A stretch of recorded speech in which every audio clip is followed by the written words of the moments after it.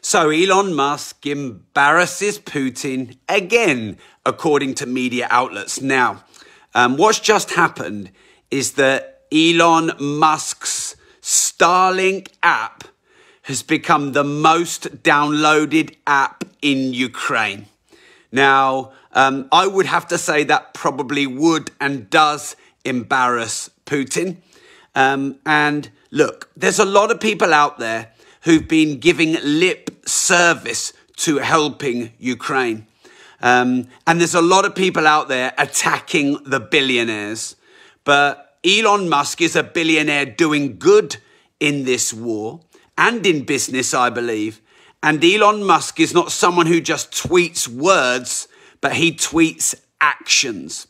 So what's happened is um, Elon Musk's app that's linked to Starlink, his replacement internet for Ukraine, which he offered, by the way, in response to a plea from the Ukrainian vice PM. This has now become the highest downloaded app in Ukraine. Um, apparently, it's broken da- uh, download day records.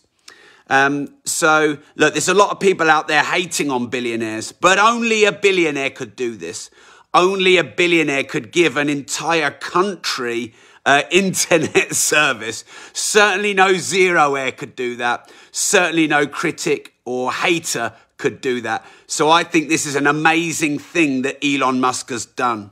Um, so, Elon Musk rushed to help Ukraine um, amidst ongoing invasion of Russia by deploying a number of Starlink terminals which provide SpaceX's satellite internet.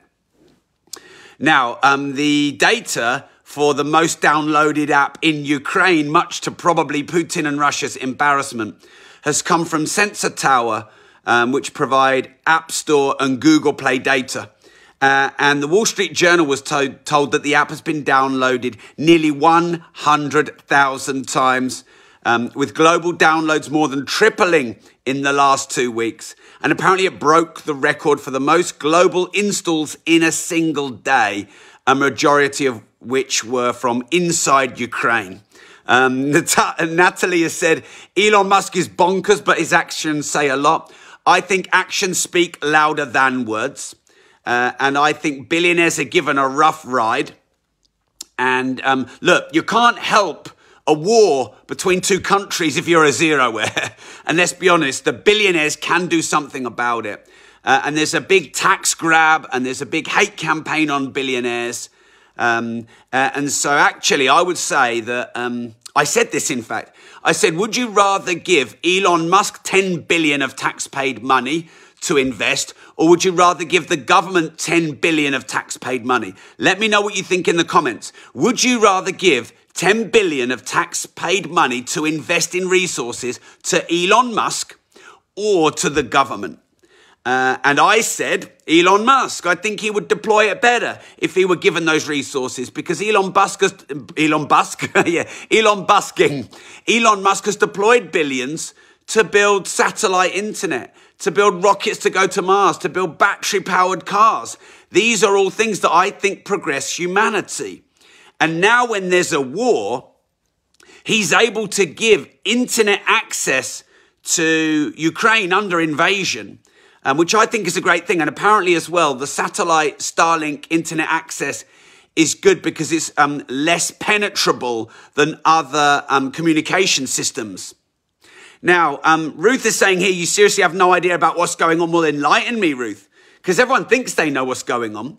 Um, but remember, me included, by the way, I can only access the media I'm shown. So I do try and look at different media outlets, try and get what I believe to be a balanced um, view.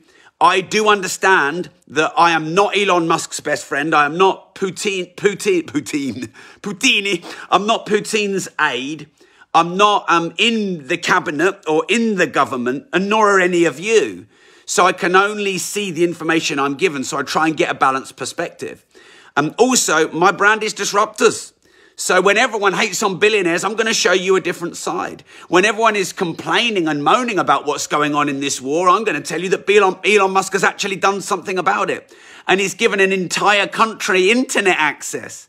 Now, by the way, in a war, if you now know, have no way to exchange information, you're going to lose that war. This is why the sanctions have cut information and financial resources to and from Russia in a bid to suffocate the war because war needs money and war needs information because information is propaganda. And Elon Musk has given Ukraine an entire internet.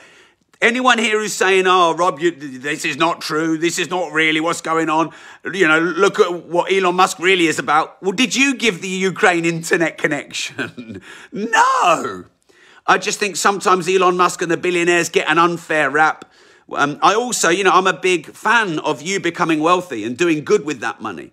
I'm a big fan that um, money is not the root of all evil. Money can be the root of all good.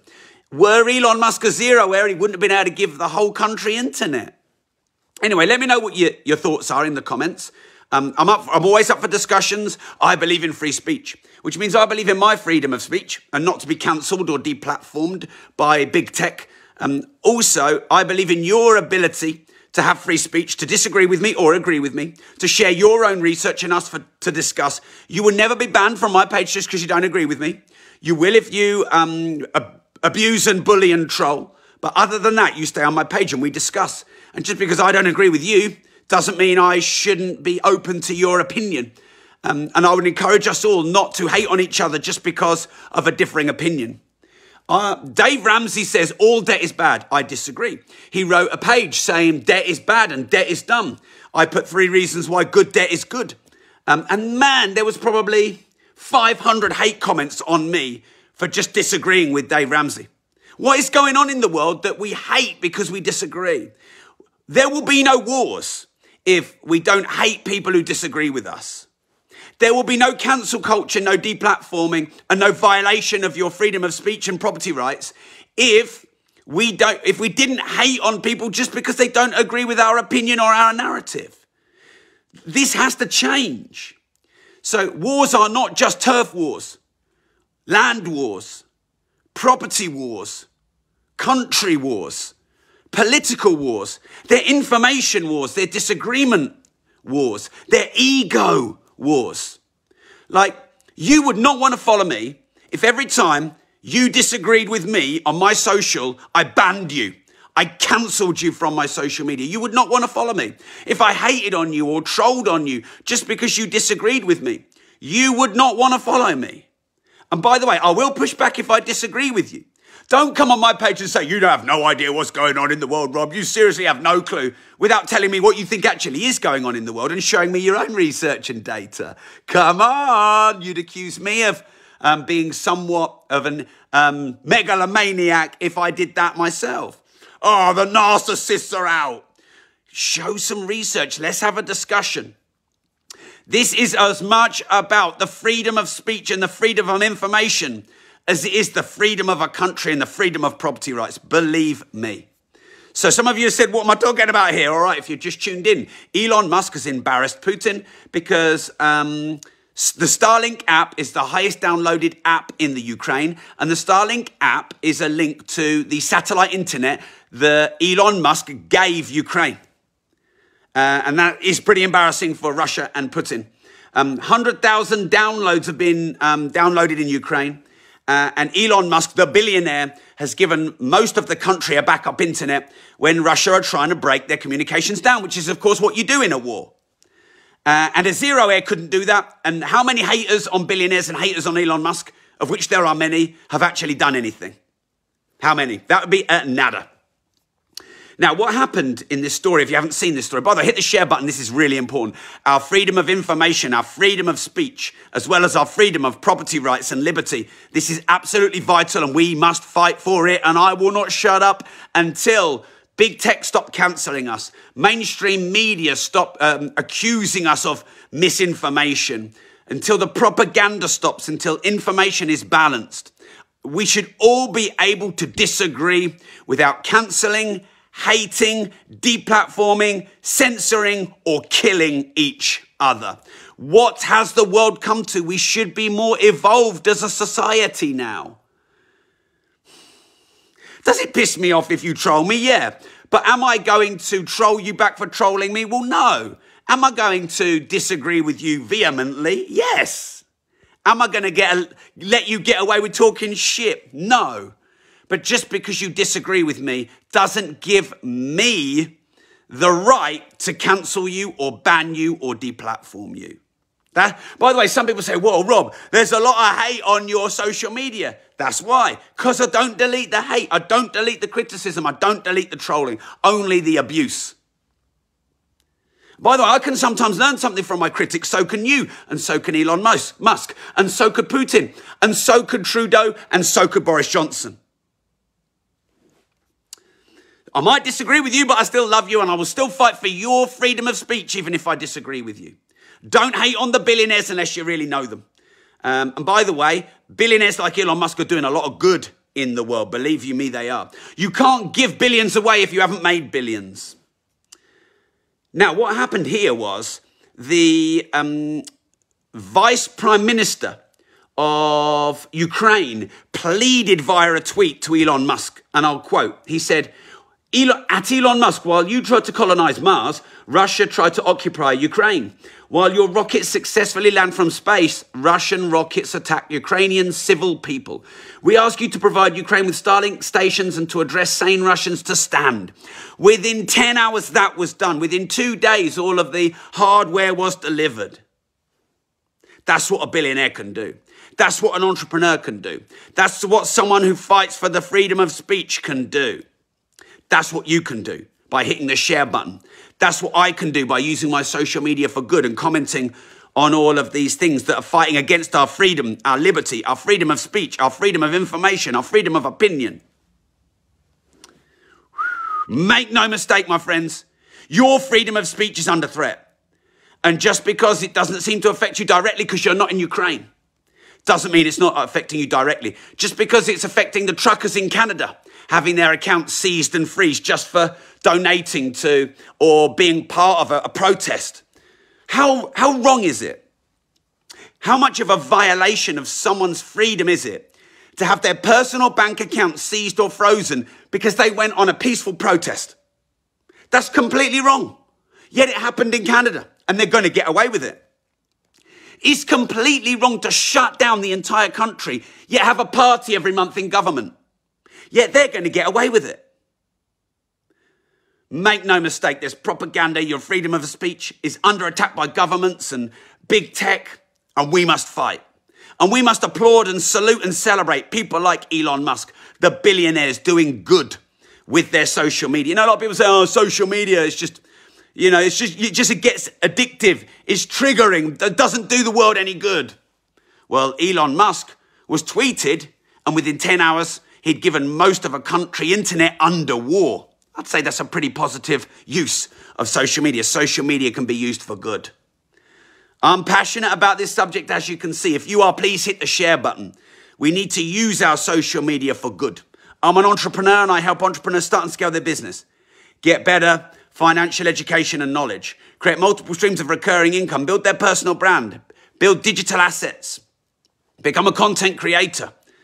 And I'm interrupting my usual, you know, five ways to be an entrepreneur type content so that I can talk about these more important global world views. You should do the same. You should use your social media as a, force for good, your profile to share topical information.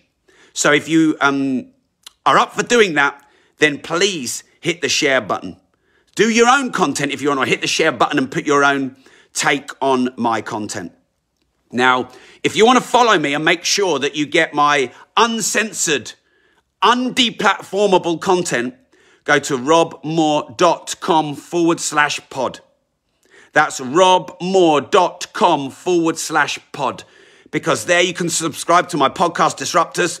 It's the only platform I can't get cancelled. I can't get deplatformed. I can't get warned. I can't get censored. I can't get a shadow ban. I can't get a seven day ban. I can't get a 28 day ban. There's words I cannot say on social media like this because I do fear that I will be cancelled or banned or deplatformed. And I don't want to be because otherwise I won't have a voice. So I'm not hating on big tech. I want to use big tech. But I can't if I say certain words. I can't say COVID, lockdown, vaccine. Can't say the words. Say the words, you see the warning. Say the words, your video can just get shut down. Say the words, and your um, platform can get shut down. So if you go to robmoore.com forward slash pod, then you can get my podcast disruptors. You can also get some special gifts from me if you want to be a creator. You want to use your social media for good. You want to build a personal brand and you want to monetize it. But make sure once you pop your details in, you go to the thank you page. That's where you can download my podcast disruptors. I've got some big disruptive in, um, guests coming, by the way. Some big world leaders and thought leaders.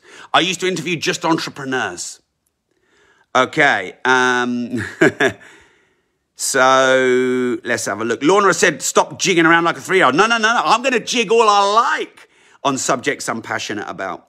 Um, Maria has said, oh my God, you have no idea about Elon Musk. The amount of people that say, oh my God, you have no idea about what's going on in the world, but then can't tell me what's going on in the world. Or, oh my God, you have no idea about Elon Musk, but don't have, actually know what's going on with Elon Musk or can't prove anything. Are you Elon Musk's aide? Are you Elon Musk's friend? Tell me what's going on with Elon Musk. Tell me what you think is going on in the world. Let's discuss it. Let's debate it. If you can show me some good evidence and research, I will read it. I will follow up with it. I'm doing my best to do the same. But not enough people out there fighting for a freedom of speech, fighting to support the billionaires who are fighting for a freedom of speech. Too many people criticizing and trolling and not doing anything about it. While Elon Musk has given Ukraine, the entire country, internet. That's pretty freaking good. And we can all learn from that, I think. And it looks like Putin could be somewhat embarrassed by it. So thanks for tuning in. Hit the share button. Let's discuss this in the comments. Give me your take on it. Remember this if you don't risk anything, you risk everything. Remember this fear screams loudest when it's dying. Mainstream media is scared. That's why there's cancel culture. That's why they threaten you with misinformation. And that word misinformation is now a weapon. There is cancel culture, there is deplatforming, there is banning, shadow banning. There is all this going on with big tech, with mainstream media, because it's scared, because it is losing against Joe Rogan, losing against individual creators, losing against um, the decentralization economy, losing against the creator economy, losing against YouTubers and podcasters and individual creators like you and me. Mmm, fear screams loudest when it's dying. Dictators and totalitarian regimes are scared because they're losing power. Fear screams loudest when it's dying. Thanks for tuning in. Hit the share button. Remember, if you don't risk anything, you risk everything. Elon Musk's Starlink app is the most downloaded app in the Ukraine. Pretty embarrassing for Putin. Uh, and Elon Musk has given an entire country a secure internet, more impenetrable than other forms of communication. I say we salute Elon Musk for it and we stop hating on the billionaires and we stop trying to take all their money through tax grabs when actually let me ask you one more time. Would you rather give Elon Musk 10 billion of taxpayers' money to invest in resources, or would you rather give the government 10 billion in tax-paid money to invest in resources? Let me know what you think. And if you disagree with me, then give me some research. Thanks for tuning in. Hit the share button. Got to get out of here. And remember, if you don't risk anything, you risk everything.